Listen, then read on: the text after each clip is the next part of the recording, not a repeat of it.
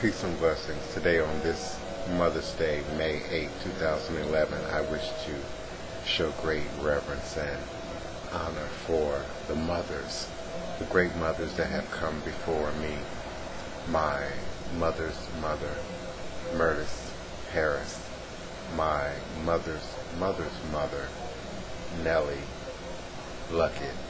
And I would also like to call reference to my father's mother, Janie Broomfield, as well as her mother, Ola B.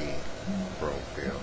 For indeed, without them, I would not be present here with you today to manifest that which Spirit would have me to give and to offer. So today I show great reverence for the great mother and mothers who have come before us and have laid the path and the foundation in blood, sweat, tear, but also in spirit.